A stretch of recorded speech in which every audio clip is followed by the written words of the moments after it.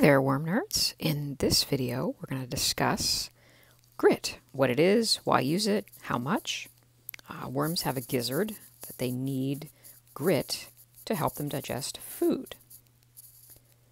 Grit is either a mineral of some sort. It's either rock dust, mollusk shells, bird eggs.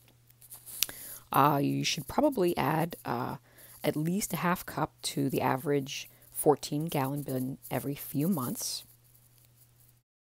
So let's talk about several of the different types of grit you can use. You can use one type or several types. Eggshell, it's free. It's a great source of grit, as well as a garden amendment for the calcium, a pH buffer, but it is very labor intensive. Sand is low cost, very available, but it does tend to compact your castings. Oyster shell, great grit, another great garden amendment. pH buffer, a little costlier though.